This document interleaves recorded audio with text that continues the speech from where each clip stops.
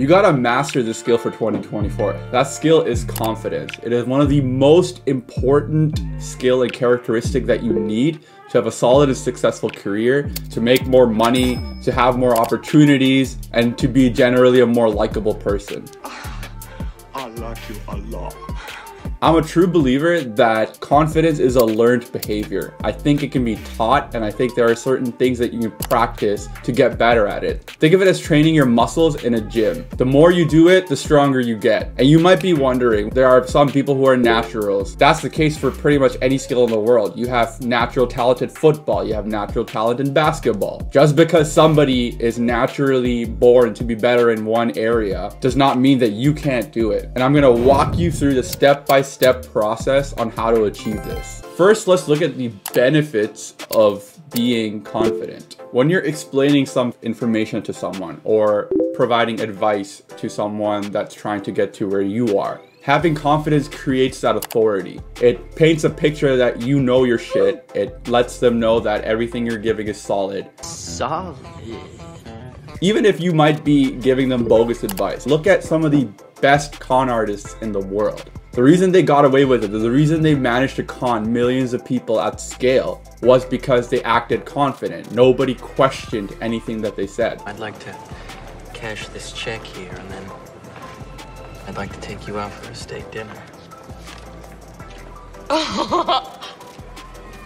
Sam Bankman Fried, the dude's a bit of a nerd and a nutcase, but he is very charismatic and very good at talking. He's very good at getting people excited and playing that confident nerd character. And that made him billions. Now, I'm not saying you should go out and become a con artist. Absolutely don't do that. That's illegal, first of all. Pussy. And again, I'm gonna preface this, but this is not financial advice. You need to leverage confidence in an ethical manner to boost your career because it will significantly impact your career. Charismatic. Confident. And has undetected gonorrhea. We're talking more money, we're talking better promotions, we're talking people trust you more. Regardless of your age, regardless of your gender, regardless of your background, people will put more weight to your word. Mark my words, Mocha Joe. And mark them well. I don't know how, and I don't know when, but I will exact vengeance.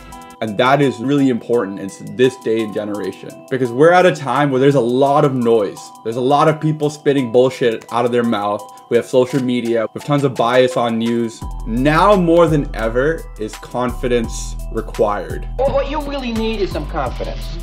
Let me give you an example. Imagine I'm in an interview and someone just asked me to explain a very technical concept. Let's use cloud technology. Someone asked me to explain cloud technologies to them. I'm gonna act like I'm unconfident right now. Uh, cloud technologies is this piece of technology that ima imagine like a farm, Huh? where you're a farmer and you need to sell apples What? and a restaurant that makes p- apple pies, like the, the restaurants that sell apple pies. Yeah, imagine they need to make uh, apple pies and they need to grow their own apple. They're not gonna do that because that's so much money and added infrastructure they don't need. So what they can do, do is they can go to a farmer and, and buy only the amount of apples they need for the year to make enough apple pies or even the, the day. And they save tons of money and tons of time because they can focus on making apple pie, what they're good at, instead of growing apples, what they're not good at. And yeah, that's the same concept with computers. As you can tell, obviously I did not sound confident, nor did I sound like I know what the fuck I was talking about. Oh, yeah, right. Now I'll explain that same exact thing to you, but more confident. Okay, so picture this. You're a restaurant, you make apple pies. You're really good at making apple pies, but what you're not good at making is apples. You're not good at growing apples. You're not good at creating the infrastructure. You don't have the farmland. You don't have the necessary tools and equipment to grow apples. So what would you do? You would go to an apple farmer, pay them whatever premium cost they need to get the apples, but you'd only buy the set amount that you need. Obviously, you'd be paying more per apple because they're charging a premium on top of their cost to grow that apple, but it's worth it for you because you're only buying what you need and it saves you tons of times and money in the long run. The same concept applies to cloud technologies. It's basically taking your Apple is your computer, your servers, your compute power, and you're leveraging other compute farmers, in this case, Amazon, Azure, Microsoft, Google. They're basically leasing you their compute resources for a premium cost, but because you're only using what you need, you end up saving tons of time and money. Same exact concept explained in two different ways. As you can probably tell, if I explain it to you in the second way, you probably believe me more, but I, this is the same information,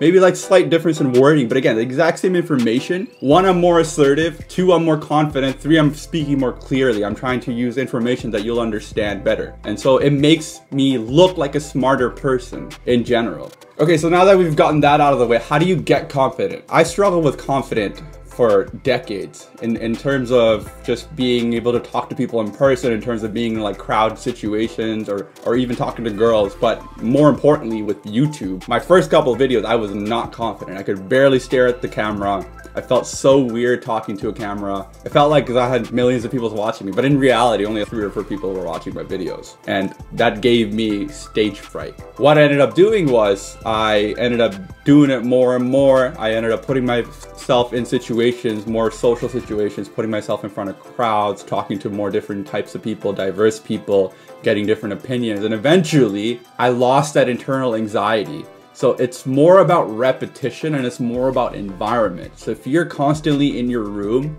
lights are off and you're just like coding away all day, of course you're going to be unconfident because you haven't been in situations that require you to be confident. You've always had a safety net where you can hide behind your room and forget about everything else. Versus if you constantly go to networking events or if you're constantly making YouTube videos, doing things that require you to be uncomfortable for extended periods of times, eventually you're gonna get good at it. And you're gonna get good at it actually probably five to six situations in very quickly because your body, your brain is extremely smart and adapts to these situations, especially because you're overloading your brain with anxiety. Eventually, you're going to learn to uh, cope and live with that. Now, I'm not a psychologist, so don't quote me on the chemistry side of things. No, I taught you a lesson.